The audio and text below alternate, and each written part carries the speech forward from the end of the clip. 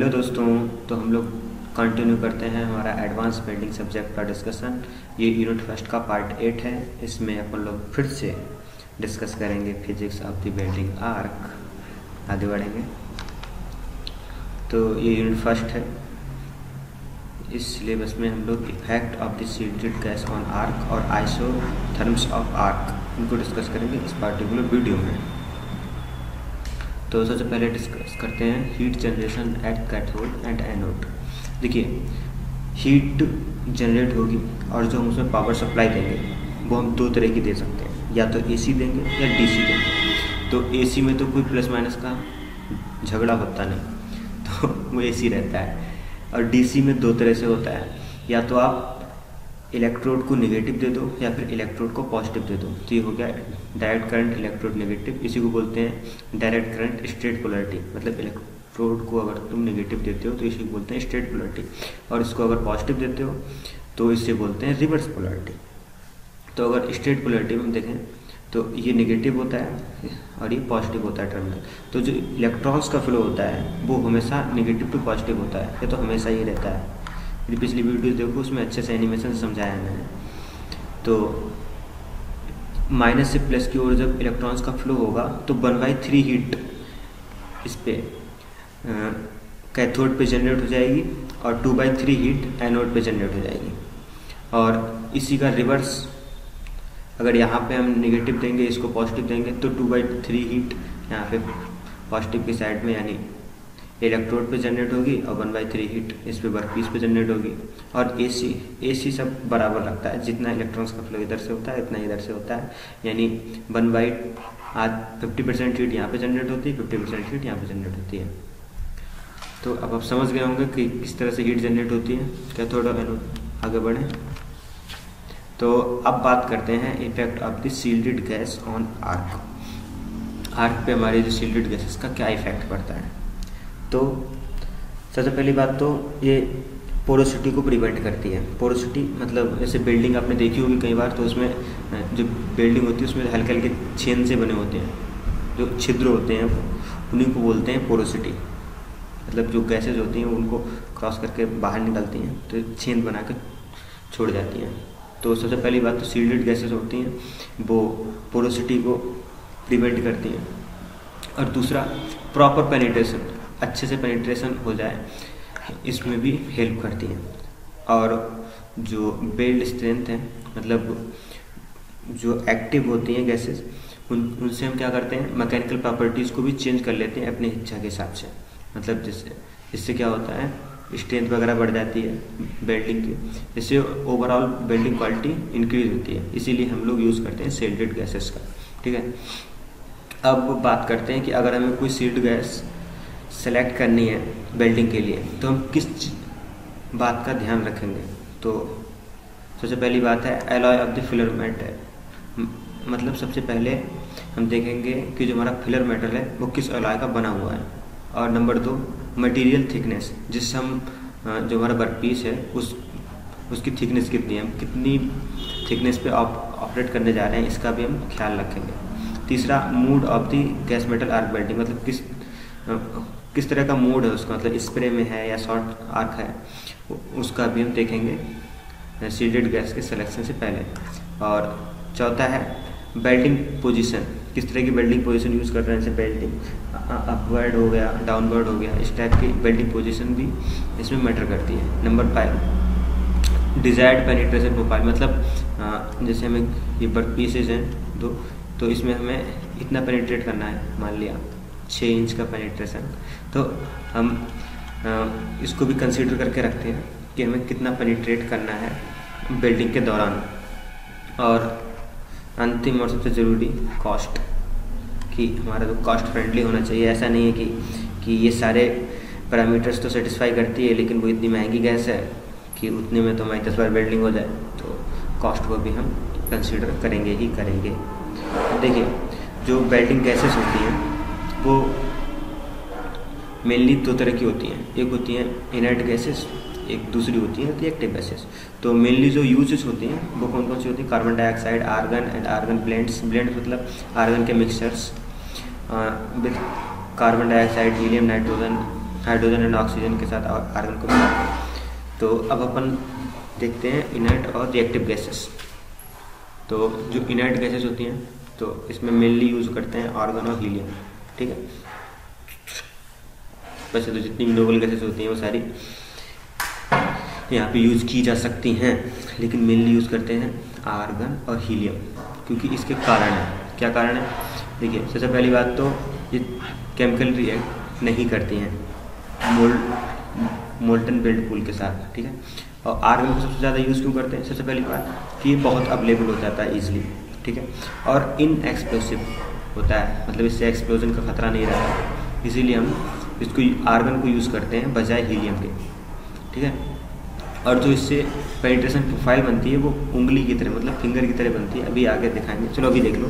हाँ ये कुछ इस टाइप से आर्गन से पेनिट्रेशन प्रोफ़ाइल बनती है। ठीक है? और helium is a very high thermal conductivity. अब जब हीलियम की बात करते हैं तो वो क्या होता है? उसमें उसकी थर्मल कंडक्टिविटी बहुत हाई होती है इसीलिए जो वो प्रोड्यूस करता है वो उसकी आर्क हॉट होती है। एंड देखिए जो हीलियम है ये इस टाइप से ये उसका मतलब इतना ज़्यादा पेनिट्रेट नहीं करता वो थोड़ा सर सोलो रहता है मतलब थोड़ा उथला रहता है उसका बेल्ट बेल्ट पुल जो बना, बनाता है। ठीक है? और कई बार हम क्या करते हैं हम मिक्सर यूज़ करते हैं किसका? हीलियम और आर्गन का। मेनली इसका यूज़ कहाँ पे करते हैं? हम इसका यूज़ करते हैं एल्युमिनियम को मतलब बेल्ट करने के लिए। जब जब एक इंच या फिर उससे थोड़ा ज़्यादा होता है तो हम वहाँ पे हीलियम और आर्गन का मिक्सर यूज़ करते हैं इनर्ट गैस के मतलब सील्डेड गैस के तौर पे। ठीक है? अब बात करते हैं मतलब और भी अगर हमें कुछ चाहिए होता है तो उस हिसाब से कॉम्बिनेशन बना लेते हैं इनर्ट गैसेस का भी, ठीक है? अब बात करते हैं रिएक्टिव गैसेस की। रिएक्टिव गैसेस कौन सी आती हैं? Carbon dioxide oxygen nitrogen hydrogen और भी जो रिएक्टिव सील्डेड गैसेस होते हैं, उनको हम यूज़ करते हैं। ये क्या करते हैं? बूल्ड जो बेल्ट कूल होता है, उसके साथ रिएक्ट करती हैं। उसके साथ रिएक्ट करके हमारी, उसकी प्रॉपर्टीज़ में चेंज कर देती हैं। तो जो कि हमें डिजायरेबल जैसा होता है, उस तरह की हम रिएक्टिव गैस का यूज़ करते हैं, ठीक है? तो all the combined with argon to get binary shield gases blend मतलब जो हमारे गैसेस होती हैं, उसमें केवल कार्बन डाइऑक्साइड ही ऐसी गैस होती है जिसको हम अकेली सील्डेड गैस की तरह यूज़ कर सकते हैं। अदरवाइज़ सबको आर्गन के साथ मिला के बाइनरी सील्डेड गैस बनाते हैं। केवल एक एक्सेप्शन होता है, जो कि होता है स्टेनलेस स्टील का। स्टेनलेस स्टील को बेल्ड करने के लिए हम लोग क्या करते हैं? ट्राई मिक्सर यूज़ करते हैं। तो ये प्रोफ़ाइल देख लेते हैं। मतलब आर्गन को इस तरह से कुछ बनेगी की तरह मतलब नीचे जाएगी। हीलियम डिस्कस कर ही चुके हैं, ये थोड़ी उथली रहेगी। हीलियम आर्गन का मिक्सचर इन दोनों का मिक्सचर रहेगा मतलब इतना डेप्थ में जाएगा, लेकिन तब भी वो थोड़ा उथला रहेगा। और सी ओ टू सी ओ टू कैसा रहेगा? सी ओ टू काफ़ी डेप्थ तक जाएगा और सेल हो रहेगा। ठीक है? अब सील्डिंग गैस का इफ़ेक्ट अब जी इफ़ेक्ट क्या करती हैं? Shielding gas weld bead shape जो बेल्ट की बीड बीड मतलब होता है जो इस टाइप की शेप बनती है ना मनके की तरह, उसको बोलते हैं। बेल्ट बीट शेप इसकी शेप को अफेक्ट करती है सील्डेड गैसें arc heat stability and starting जो स्टार्टिंग होती है, आर्क की उसकी स्टेबिलिटी होती है, उसको अफेक्ट करती है सील्डेड गैसें सरफेस टेंशन अब जो बेल्ट पुल के ऊपर सरफेस टेंशन बनती है, उसको अफेक्ट करती हैं। ड्रॉप साइज़ ड्रॉप साइज़ क्या, कैसा बनाएँगे देख रहे हो? सबके अलग अलग ड्रॉप साइज़ आए हैं। ये भी अफेक्ट होते हैं सील्डेड गैसेस में। और पडल फ्लो पडल मतलब होता है पोखर मतलब छोटा सा गड्ढा जो पानी भरा हो। तो इस तरह से जो ये बेल्ट पुल है, इसका किस तरह से फ्लो होगा ये भी सील्डेड गैस से अफेक्ट करती हैं। स्पेक्टर ये अगर डिफेक्ट होता है तो इसको भी अफेक्ट करती हैं सील्डेड गैसें अब अपन आगे देखते हैं। ये कुछ और फिगर हैं जिनको हम देख सकते हैं। पेनिट्रेशन पैटर्न का, क्या होंगे सील्डेड गैसेस के प्रभाव की वजह से। तो आर्गन में हम देखा सबसे सबसे ज़्यादा गहरे में यही जाएगा। हीलियम आर्गन को मिक्स करेंगे तो सेलो रहेगा लेकिन डेप्थ रहेगा।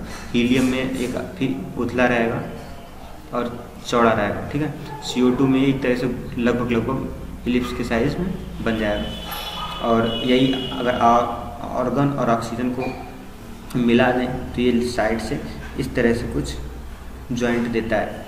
और आर्गन सी का इस टाइप से और सी का इस टाइप से। ये तो बस आप फिगर देखिए, समझ सकते हैं, इसके अलावा इसका कोई उपाय नहीं तो आगे बढ़ते हैं। अब अपन बात करते हैं आइसोथर्म्स ऑफ़ आर्क की।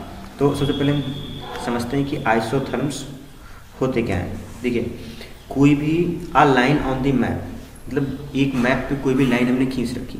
मतलब ऐसे यही है, हमारी एक प्रोफ़ाइल है। इस पर हमने कोई एक इमेजनरी लाइन्स होती हैं जो कनेक्ट करती हैं इस टाइप के टेम्परेचर पॉइंट्स को जो सेम हो मतलब सेम टाइप के टेम्परेचर पॉइंट्स को कनेक्ट करने वाली जो लाइंस होती हैं, उनको बोलते हैं आइसोथर्म्स मतलब जैसे यहाँ पे हमारी इस टाइम पे बिल्डिंग का वो है इलेक्ट्रोड तो यहाँ से बिल्डिंग बिल्ड कर रहा है। तो इसके चारों ओर जो मतलब एक एरिया होगा, जहाँ पे वो हीट प्रोड्यूस कर रहा होगा, यहाँ पे मान लीजिए सत्तर, मान लीजिए सात सौ डिग्री है। तो यहाँ पे ये पूरे पूरे इस गोलाई में सात सौ डिग्री ही रहेगा।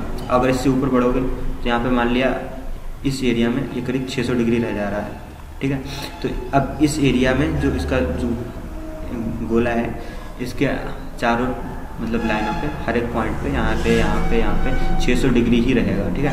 और इसी तरह से जो इमेजनरी लाइन से बनाते हैं, उन्हीं को बोलते हैं आइसोथर्मसिस मतलब टेम्परेचर में सेम इमेजनरी लाइन खींची गई है, जो एक मैप पे, उसे बोलते हैं आइसोथर्म्स तो इस टाइप से आती है, इसको एक थर्मल साइकिल होती है कॉसी स्टेटी स्टेट की, इसका एक बड़ा लंबा सा डेरिवेशन होता है, जो कि हमारे कोई मतलब का नहीं है. लेकिन अब फिर भी अपन इतना समझ लेते हैं, अगर एग्ज़ाम में है तो इतना ही देखा है कि यहाँ पे अगर कोई इलेक्ट्रोड है तो उसके चारों में कुछ इमेजनरी लाइंस जो बनेंगी आइसोथर्म्स उनके टेम्परेचर सेम होंगे, हर एक पॉइंट पे, उन सर्कल्स को या फिर उन लाइन्स को बोलेंगे आइसोथर्म्स ऑफ़ आर्क्स ठीक है? वो अपन लोग देख लेते हैं जो आर्क होती है, उसमें टेम्परेचर किस टाइप से रहता है। हाँ तो ये बेल्टिंग डायरेक्शन है मतलब हमने मान लिया कि इस इस साइड में जो इलेक्ट्रोड है फ्लो हो रहा है मतलब आगे के लिए बढ़ रहा है। तो नॉर्मली हमें लग सकता है कि जो आर्क है, वो यहाँ पे सबसे ज़्यादा हीट रहेगी, लेकिन नहीं, जब डायरेक्शन इधर है तो ये जो थोड़ी डिफ्लेक्ट होकर पीछे आ जाएगी। ठीक है? तो सबसे ज़्यादा जो हीटेड जोन होगा, वो यहाँ पे बनेगा। ठीक है? और ये लगभग कितना है? पंद्रह हज़ार पंद्रह हज़ार डिग्री का यहाँ पे रहेगा। उससे फिर धीरे धीरे यहाँ पे तो बेल्डिंग डायरेक्शन से थोड़ा पीछे हो जाता है, बस इतना ही है इसमें बेसिकली और ये कैथोड हो गया, ये एनोड हो गया, और ये यही आर्क है।